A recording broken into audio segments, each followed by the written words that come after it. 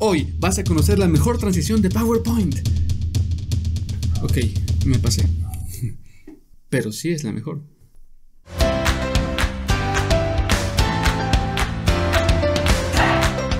Hola, ¿qué tal? Soy Jesús Guzmán, espero que tengas muy buen día porque hoy te voy a enseñar la mejor transición que hay en PowerPoint. Una transición es muy distinto a una animación, como ya hemos explicado. Una animación es cuando una figurita hace algo en la diapositiva, pero una transición es cuando pasas de una diapositiva a otra. Cuando de la diapositiva 1 te vas a la 2, de la 2 te vas a la 3 y así las demás. Ahora, transiciones hay muchas, están las comunes, las estáticas, las estándar. La transición del empuje, transición de cortina, transición de revelar, transición de dividir y muchas de esas. Son las, las comunes. Pero hay una que está en Office que es la mejor de todas. Bueno, desde mi punto de vista. Y es la mejor porque puedes hacer cosas como esta.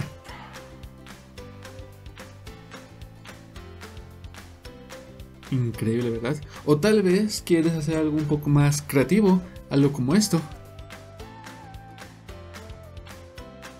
Y esto se puede con la transición de transformación. Así se llama, transformación. Y lamentablemente solo está para Office 2019 o para Office 365. Si no tienes Office 2019 o 365, Creo que este video en particular no te va a ayudar mucho, pero intentaremos replicarlo para otras versiones en otro video, que tal vez aparezca después. Así que ahora mira, para saber cómo funciona esta diapositiva, vamos a PowerPoint. Y estando aquí en PowerPoint, en transiciones, vemos que transformación es la primera. Y quiero explicarte cómo funciona, porque no es tan sencillo. Por ejemplo, estos, si los eliminamos, ya sabes que me gusta trabajar con un plano limpio. Imagina que insertamos una forma, una forma estándar, común. Y luego insertamos otra diapositiva. Si tú aquí tienes otra forma, si seleccionamos la diapositiva, nos vamos a transiciones y elegimos transformación, ya se escogió, nota que aquí está la estrellita de que ya se escogió la, la, ya se escogió la transición. Al darle F5, nota que empezamos. Al darle un clic. ¿Qué? ¿Eso fue todo?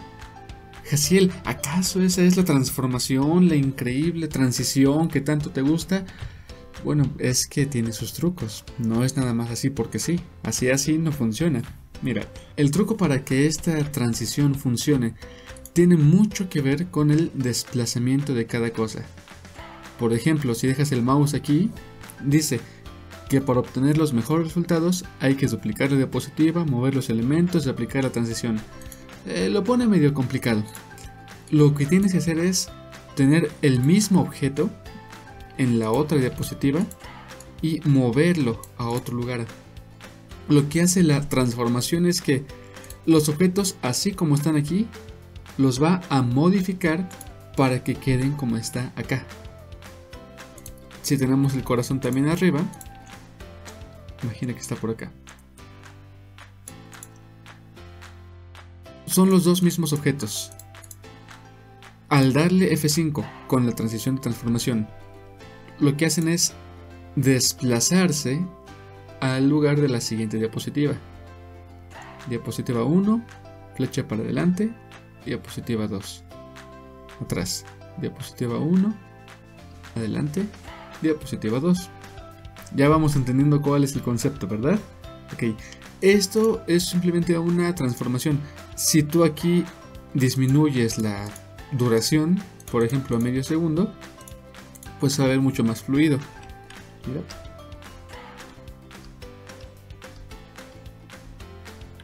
Bien, Ok, esta es como la base de la transformación, pero para que funcione hay que entender otras cosas. Puedes tú hacer que un objeto se distorsione a sí mismo y se convierta en otro objeto. Por ejemplo, imagina que aquí, en, vamos a borrar esto para que se entienda. Imagina que aquí en la diapositiva 1 tengo un rectángulo y quiero que se transforme, ese rectángulo se transforme en este corazón. Si solo está así, nota que desaparece uno y aparece el otro. No lo está transformando. Lo que tenemos que hacer es darles el mismo nombre, con algunas variantes. Para ello nos vamos a inicio, nos vamos a seleccionar, activamos el panel de selección. Y en este panel de selección, elegimos nuestra figura. Tiene aquí su nombre, rectángulo. Yo le voy a dar, por ejemplo, figura 1. El truco es que hasta atrás, hasta atrás del nombre, antes de todo, pongas el signo de admiración hacia abajo dos veces, así como está acá. Y tal cual está aquí, copias el nombre y en este de aquí le das el mismo nombre. Nota, tienen el mismo nombre, figuras distintas con el mismo nombre. Ahora, F5, ve lo que pasa.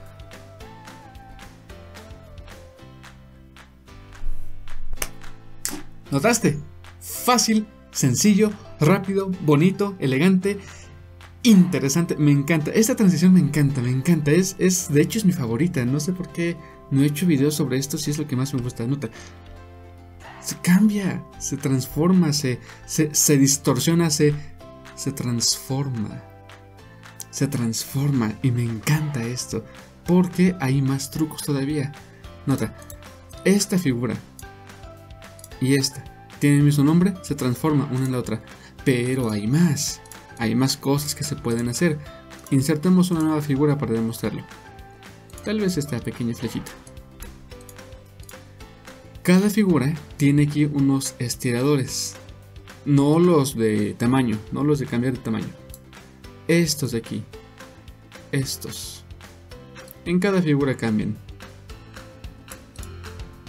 Estos estiradores e incluso el tamaño, si tú esta figura la copias, la pegas, también lo respeta esta figura, esta transición. Nota, cambié el tamaño, jalé los estiradores, pero también jalé estos deformadores. Deformadores, transformadores, los amarillitos. Y ahora cuando le damos F5, ¿notas? Es la misma figura, pero la distorsiona la transforma para hacer la otra figura. Es una inteligencia artificial que ocupa Microsoft y está muy bien lograda. Y aún no es Hay otra cosa, hay otra cosa todavía, mira. Para ello necesitaremos otra figurita, otra figurita. ¿Qué será? Este está bueno. Este. Igual, lo copiamos, lo ponemos aquí. Como tiene el mismo nombre, como es la misma figura, no hay problema. Cuando hay que cambiarle el nombre a las figuras, como es aquí el caso del corazón, es cuando son figuras distintas. Son figuras distintas y por lo tanto tenemos que ponerles el mismo nombre con los signos de admiración para demostrar que queremos que se transforme.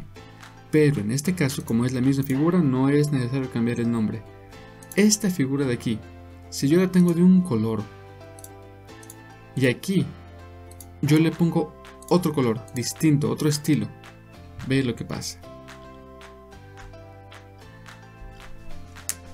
Se cambia. El color también cambia. Cambia la figura, la transformación, la ubicación, la posición, el color. las opciones son ilimitadas. Por eso digo, es cosa de pensar y puede hacer algo así. Este efecto carrusel me encanta, es de mis favoritos. Y puedes hacerlo tú con esta mm, con este efecto, con este con esta transición tan especial. Es más, en otro video, que te voy a dejar la tarjetita, próximamente vas a ver cómo se hace. Pero ok, sigamos viendo acerca de esto. Ahora, ya que tenemos estos de aquí, hay algo más que tienes que conocer muy bien. Eliminemos estos, estos solo fueron como los ejemplos. Bueno, dejamos el corazón porque ese me gustó y es el texto. El texto también tiene sus trucos con esta transición. Mira, nos vamos a donde dice insertar, vamos a insertar cuadro de texto y escribimos algo leve.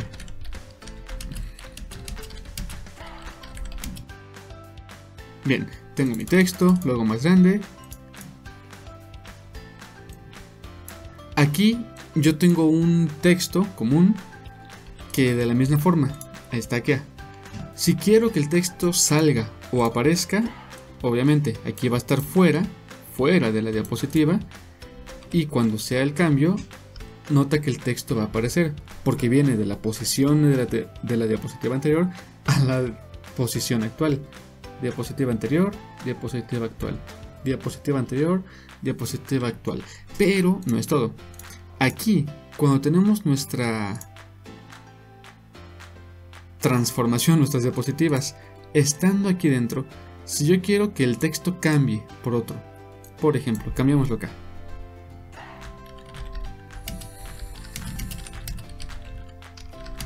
Bien, nota que aquí son dos textos distintos, dos textos.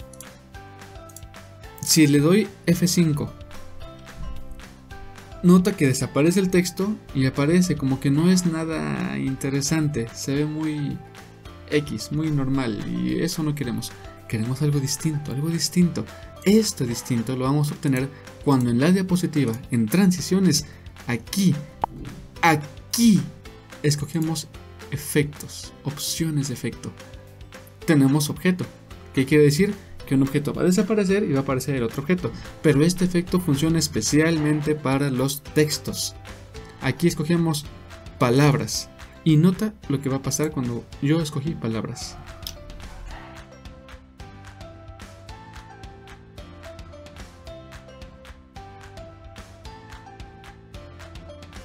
¿Te das cuenta?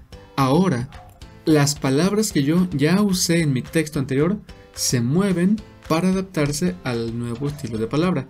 Y no es lo único, si aquí le doy opciones de efectos, caracteres, ya te imaginarás lo que va a pasar, ¿no?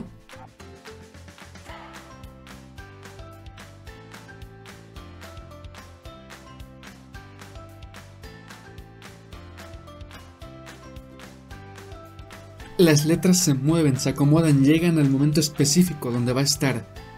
Esta transformación puedes explotarla de mil y una formas.